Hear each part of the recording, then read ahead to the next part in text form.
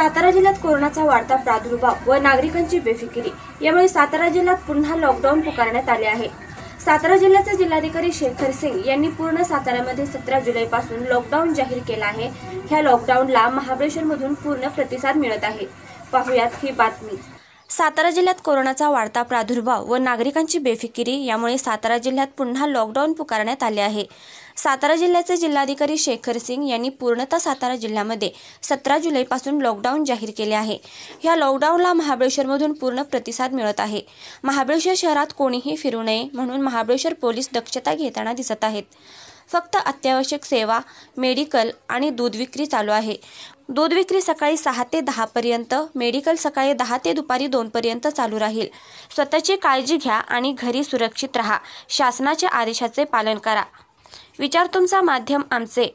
यासाठी पाहत रहा फक्त V M news Marathi Satara.